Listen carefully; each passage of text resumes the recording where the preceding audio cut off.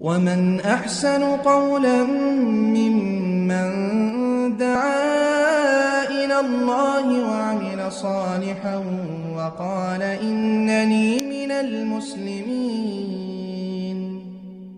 ومن أحسن قولا ممن دعا إلى الله دعا الله وعمل صالحا وقال إنني من المسلمين ওয়ালাইকুম সালাম রহমতুল্লাহ বরকাতহু আলহামদুলিল্লাহ ওয়াহদা ওসালাত ওসালাম আলা মাল্লা নবিয়া বাদা এক সম্মানিত ভাইয়ের প্রশ্ন যে দাওয়াতি কাজ করতে গেলে বাধা এত আসে কেন এটা তো ভালো কাজ। তো এই মর্মে কি কোনো কোরআন হাদিসের দলিল রয়েছে যে দাওয়াতি কাজ করলে বাধা আসবে বা আল্লাহ বলেছেন যে কষ্ট দেওয়া হবে বা আর কিছু? সম্মানিত ভাই, জি, দাওয়াতি কাজ, হক কথা বলতে গেলে বাধা আসে। এই বাধাটা আপনার কোরআন হাদিস থেকে প্রমাণিত, কোরআন হাদিস থেকে প্রমাণিত কারণ আল্লাহ রসুল সাল্লাহ সাল্লাম যখন তিনি প্রথম দাওয়াত দিয়েছিলেন মক্কার কুফারে কুরাইশ এদেরকে। তিনি প্রথমে তাদের দাওয়াত দিয়েছিলেন যখন তাদেরকে প্রথম ডাকলেন যে এক পাহাড়ের কাছে গিয়ে ডাকলে তারা সবাই সাড়া দেয়। তারপরে আল্লাহ রসুল সাল্লাহ সাল্লাম তাদের বলেন যে, আমি যদি বলি যে, এই শত্রু বাহিনী শত্রু বাহিনী পিছনে রয়েছে। তো তোমাদের ক্ষতি করবে। এই করলে কি তোমাদের? বিশ্বাস করো তোমরা? তারা বলেছিল যে হ্যাঁ তোমাকে আমরা বিশ্বাস করি। তখন ওই সময়তে আল্লাহ রসুল সাল্লাহ সাল্লাম তাদেরকে কালেমার দাওয়াত দিয়েছিলেন, লা ইলাহিল্লাহ যে আল্লাহ ছাড়া কোনো সত্য মাহবুদ নেই। ওই সময়তে আবু জাহেল বলেছিল, এই জন্য তুমি ডেকেছ? তোমার হাত ধ্বংস হোক। তখন আল্লাহ সুবাহ তালা আয়াত নাজিল করেন তাব্বাত। ইয়াদা আবিল হাবিউ ওয়াতাব তাব্বাত ইয়াদা আবিল হাবিউ ওয়াতাব তার মানে আবুল হাবের হস্তদয় ধ্বংস হোক তার মানে আল্লাহ রসুল সাল্লাহ সাল্লাম দাওয়াতি কাজ যখন তাকে হক পথে তাদেরকে ডাকলেন আল্লাহ রসুল সাল্লাহ সাল্লাম যখন মুশরেক কুফারে কোরাইশ এদেরকে হক পথে ডাকলেন তখন তারা বুঝতে পারল যে হ্যাঁ এরা তো মোহাম্মদ আমাদেরকে ডাকছে তার মানে আমরা যে তিনশো ষাটটি মূর্তি পূজা করি। এগুলা আর ইবাদতবন্দি করা যাবে না। সে হক পথে ডাকছে। এখান থেকে প্রমাণ হয়, এটা সই হাদিস যদি আমি হাদিসটি সেভাবে বলা হয়নি। সই হাদিস দ্বারা প্রমাণিত কথা বলা। তো এখান থেকে প্রমাণ হয় যে হক পথে ডাকতে গেলে বাধা আসবে। আল্লাহ রসুল সাল্লাহ সাল্লাম সে সময়তে আরও যেগুলো ইমাম আহমদ বিন হাম্বাল একটি হাদিস নিয়েছেন, ইমাম মুসলিম আহমদ বিন হাম্বাল, তিনি বলছেন কুলিয়া ইহান্না সাল্লাহ ইলাহিল্লাহ তফলে হন হে মানুষেরা তোমরা বলো যে আল্লাহ ছাড়া কোনো সত্য মাহবুদ নেই, তাহলে তোমরা সফলকাম হবে। সফলকাম হবে। এখন বাধা আসবে যে আপনি বাপ দাদার থেকে একটা কাজ করে আসছেন, যেমন কুফারে কোরাইশ, এরা মূর্তির পূজা করত, যখন আল্লাহ রসুল ডাকলেন তাদেরকে যে একমাত্র সত্য মাহবুদ আল্লাহরও ইবাদবন্দি করা লাগবে। তাদের কষ্ট হলো যে আমরা বাপ দাদা থেকে এগুলা করে আসছি, এখন সে এক পথে ডাকছে। তখনই তারা শত্রুতা শুরু করল। এমনকি আল্লাহ রসুল সাল্লাহ সাল্লামকে হিজরত করে মদিনায় আসতে হয়েছে, মদিনায় আসতে হয়েছে। জি, আর দাওয়াতি কাজের এখন পর্যন্ত এখন পর্যন্ত যারা মুসলিম, মুসলিমে মুসলিমে এত কেন তারা আলেমে আলেমে হুড়াহুড়ি, তারা দেখা যায় হিংসা, ফাসাদ, বিদ্বেষ এরা আসলেই অনেকে এখনও সমাজে আলেম ওলামা অনেকে আমরা রয়েছি, যারা তাদের সমাজকে রক্ষার জন্য তার সম্মানকে রক্ষার জন্য তারা হক জানার পরও তারা কিন্তু আসলে বলে না। হক জানার পরও বলে না। তারা হক আসলে জানে, বুঝে, তারপর হক বিষয়টা তারা গ্রহণ করে না, হক বিষয়টা তারা গ্রহণ করে না। তাই এখনও সমাজে রয়েছে, আপনি যখন হক কথা বলবেন, যেমন আপনি বলেন যে সেরে কি কাজ করা যাবে না, সেরে কি কাজ, কবর পূজা করা যাবে না।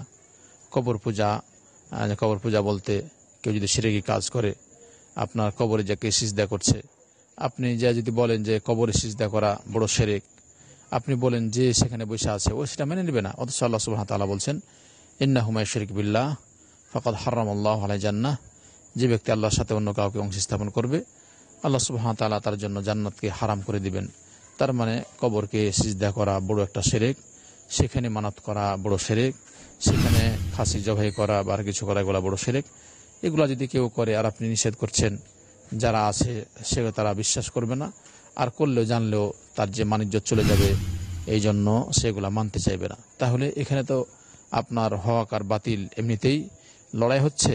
আপনি হক জানার পর তাকে বলছেন, কিন্তু সে আপনার কথা মানছে না। অথচ আল্লাহ সুবাহ তালা বলছেন, লাইনা সরক্তা আল্লাহ নাম আলোকা ওলা তা মিনাল খাসিরিন। হেনবি তুমি যদি আল্লাহর সাথে অন্য কাউকে অংশ স্থাপন করতে, তাহলে তোমার আমলগুলা বরবাদ হয়ে যেত। আর তুমি ক্ষতিগ্রস্তদের ভিতরে হয়ে যেতে তাই, সম্মানিত ভাই, হক প্রচারের ক্ষেত্রে বাধা, আপত্তি এগুলা আসবে, বাধা, আপত্তি আসবে, যেগুলো বর্তমানে আপনার আসছে, যে আপনি যখন অনুরূপভাবে আপনি কোরআন কোরআন আয়াত, হাদিস আপনি যখন স্পষ্ট বলছেন, জানার পরও তারা মানে না।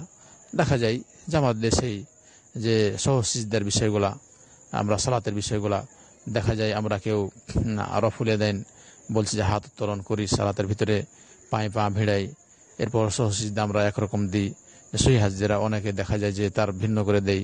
তো এই জিনিসগুলা এরপরে বললাম যে বিদাতি আমল রয়েছে, সেরেকি আমল রয়েছে, কেউ ঈদ মোলাদের নবী কেউ পালন করছে। যখন বলা হচ্ছে যে আল্লাহ রসুল করেননি, সাহাবারা করেননি, তাবি তাবিন করেননি, তখন তারা রেগে যাচ্ছে এবং তারা লড়াই করছে যে এটা ভালো কাজ, এখানে সমস্যা কি? এভাবে তারা বিভিন্ন কথাবার্তা বলছে। এইভাবেই দেখা যায় এখনও পর্যন্ত মানুষেরা মিলাদ, কিয়াম এগুলা করে যায়। তারা বিশ্বাস করছে যে রাসূল মিলাদে, কিয়ামে উপস্থিত হয়। অথচ এগুলা কুফরি কথাবার্তা। যে আল্লাহ রসুল শাহিদ রয়েছে মদিনায় তিনি কি করে আপনার বাংলাদেশে, ভারতে, পাকিস্তান যে যেখানে মিলাদ করেছে কি করে যাবেন?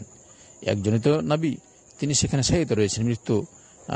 আর এখন যদি এভাবে বলি, এখন যারা মানছে, ওকে বললেই আপনার সাথে লড়াই বা আপনার সাথে বিষয়ে তারা মানতে চায় না। এইভাবেই মূলত হচ্ছে। আর এটা চিরাচরিত নিয়ম।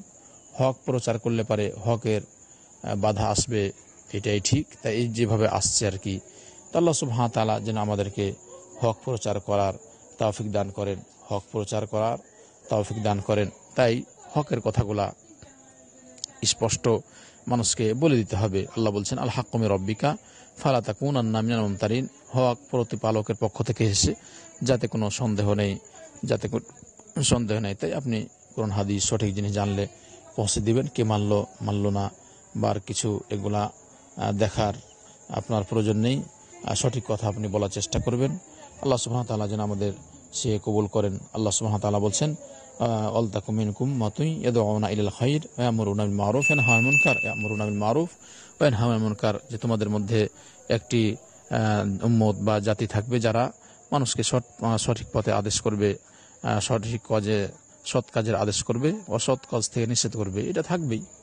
কেউ অন্যায় করছে, আপনি তাকে বলছেন এটা করিও না, সে আপনার রাগছে রাগুক কিন্তু আপনি তাকে হেকমতের সহিত ভালো করে কথা বলেন। আল্লাহ ওয়া বলছেন উদু ইলা রব্বিকা উদু ইলা সাবিলি রব্বিকা বিল হেকমাতি ওয়াল মাউইজাতিল হাসানা। তুমি তোমার প্রতিপালকের পক্ষে তোমার প্রতিপালকের দিকে ডাকো।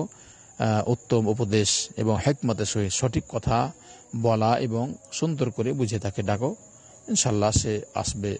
যেমন আল্লাহ সুবহান তাআলা ফেরাউন সম্পর্কে বলছেন যে মোসা এবং হারুনকে উভয়কে ফেরাউনের কাছে পাঠিয়েছিলেন তিনি বলছিলেন ফাকুর আলাহু কৌল আল্লাহিনা যে তোমরা ফেরাউনের কাছে যাও ইহাবিলা ফেরাউনা ফাকুর আলাহু কৌল আল্লাহিনা যে যখন ফেরাউনের সাথে কথা বলবে, নরম সুরে ভালো করে কথা বলবে। তাই আমাদের হকগুলা প্রচার করতে হবে, চেষ্টা করতে হবে। আল্লাহ সে তৌফিক দান করেন আর হক পথ কথা তারা বললে যারা বিপরীত তারা আহ, চিরাচরিত্র রয়েছে তারা বাধা দেয় আল্লাহ যেন আমাদের সে তৌফিক দান করেন কোরআন হাদিস আহ, অনুযায়ী আমল করান সে পথে দাওয়াত দেওয়ার আল্লাহ আলাম সুবহানাক আল্লাহুম্মা বিহামদিকা আশহাদু আল্লা ইলাহা ইল্লা আনতা আস্তাগফিরুকা ওয়া আতুবু ইলাইক